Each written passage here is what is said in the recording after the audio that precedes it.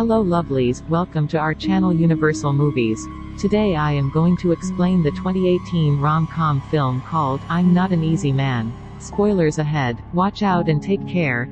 Damien is a shameless chauvinist, who works for a male-dominated marketing agency. He proudly uses all the benefits of living in a patriarchal world to his advantage. He likes dominating women he meets and treats them like objects for his pleasure. Damien's boss Marco loves him and always gives him the important projects and assignments. He has a close friend and neighbor named Christoph Lamy who's a famous writer. One day, during Chris's new book's launch, Damien meets his new attractive assistant Alexandra. He is dating a woman named Sybil but that doesn't stop him from flirting with other women. He hits on Alexandra but she finds his chauvinist attitude off-putting and turns him down.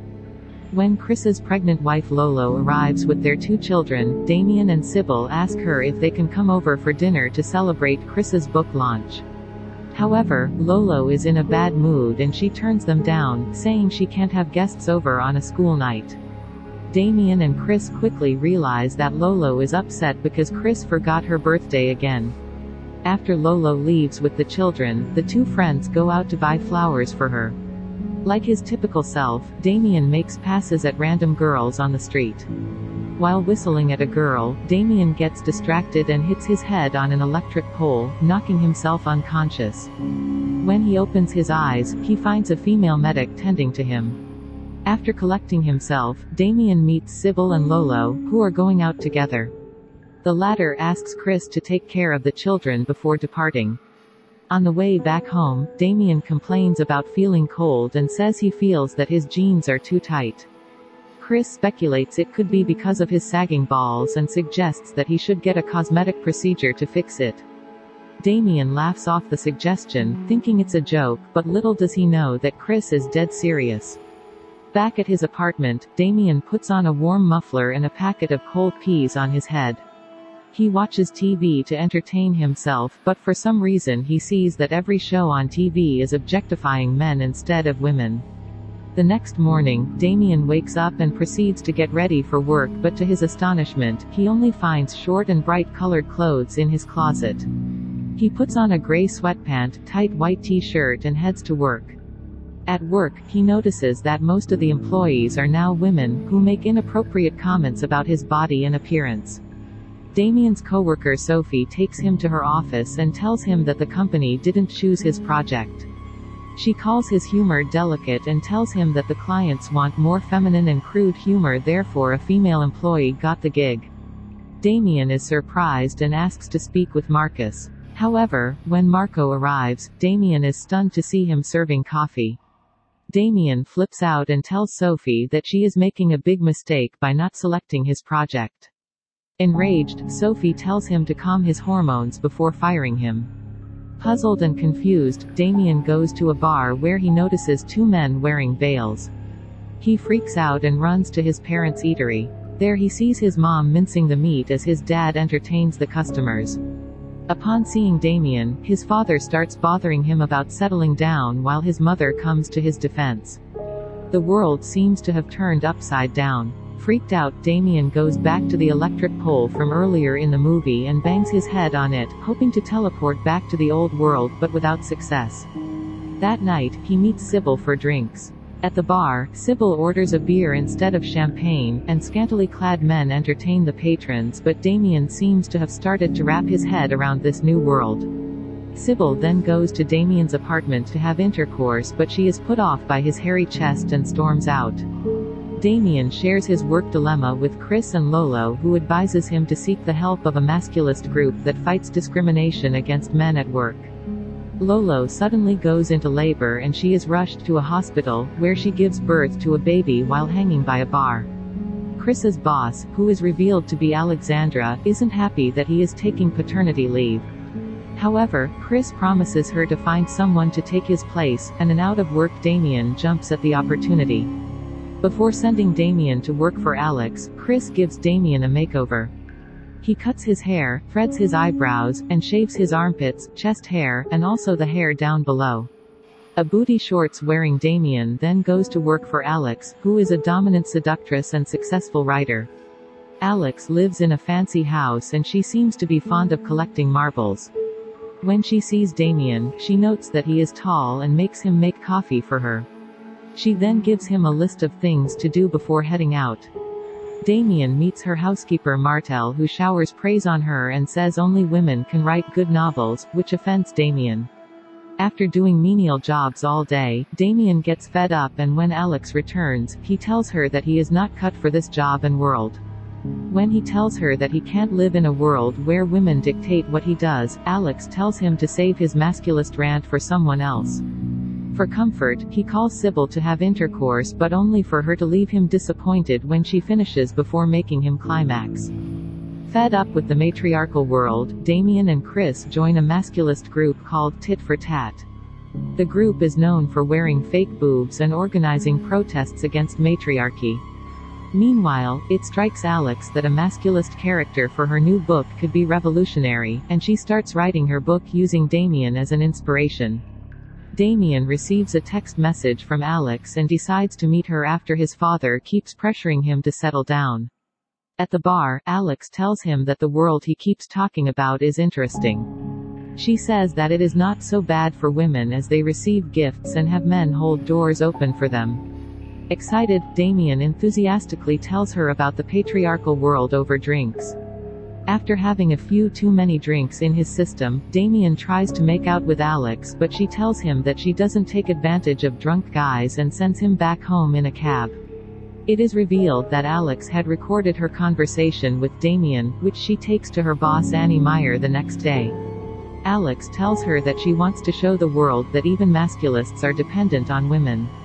She plans to get Damien to fall in love with her so she can eventually break his heart and teach him a lesson. Annie loves the idea and asks to see the writing sample on her desk as soon as possible. As Alex continues to court Damien, he tells Chris that he can no longer work for Alex because he is dating her. This upsets Chris because he is afraid that he won't get his job back after his paternity leave ends. The two get into an argument and Damien brings up the fact that his wife doesn't respect him. Upset, Chris tells Damien to never talk to him. Alex and Damien spend more and more time together and eventually have intercourse. Unbeknownst to Damien, she even records them having it. Alex takes him to her work parties and even introduces him to Annie. During their time together, Alex continues to have intercourse with other men, one of whom vandalizes her home for using him. Meanwhile, blinded by love, Damien irons her shirt and runs errands for her. Chris eventually forgives Damien. When Chris tells him about Lolo's unfaithfulness, Damien comforts him and promises to be by his side no matter what. Meanwhile, Alex always makes it a point to hide her writing samples from Damien which only makes him more curious. He asks to see it, but she changes the topic and asks him to work for her. Damien turns down the offer, saying he's applied to work at a bar because he doesn't want to be dependent on her. He says he wants to be equal to her, which irritates her. One day, a man named Daffodil shows up at Alex's place unannounced while she is away. Daffodil seems upset and forces his way into Alex's bedroom. Worried, Damien texts Alex, who tells him to call the cops on him. Daffodil spray paints small tits on her bedroom wall and tells Damien that the marbles on her shelf represent her each male conquest. A tearful daffodil tells him that she made him feel smart and worthy only to make him feel like a fool in the end. Damien is taken aback by the revelations and he confronts Alex about the marbles.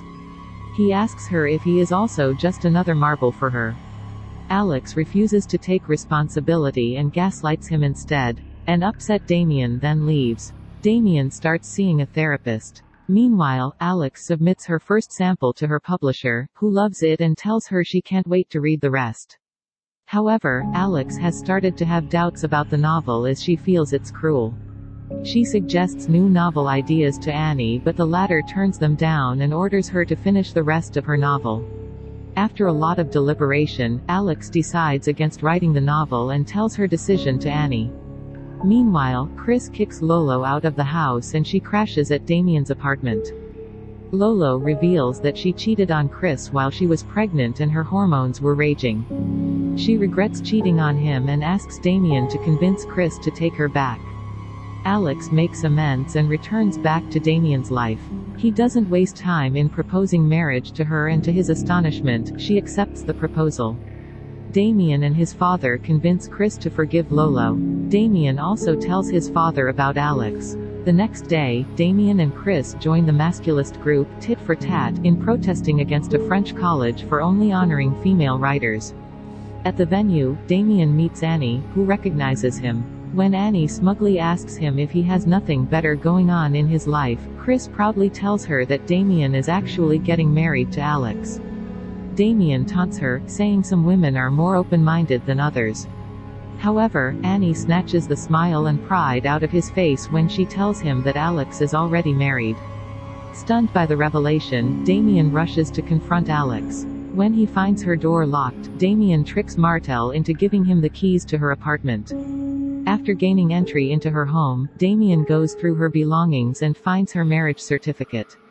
Hurt, he trashes her room. Meanwhile, Alex is at her husband's place to pick up her daughter.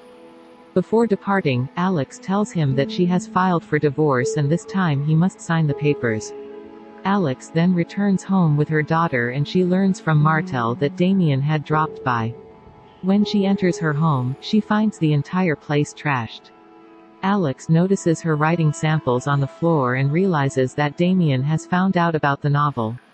A worried Alex looks for Damien everywhere. Meanwhile, Chris gets a call from his friend Erica who tells him that Damien is drunk out of his mind at her bar and some girls are harassing him.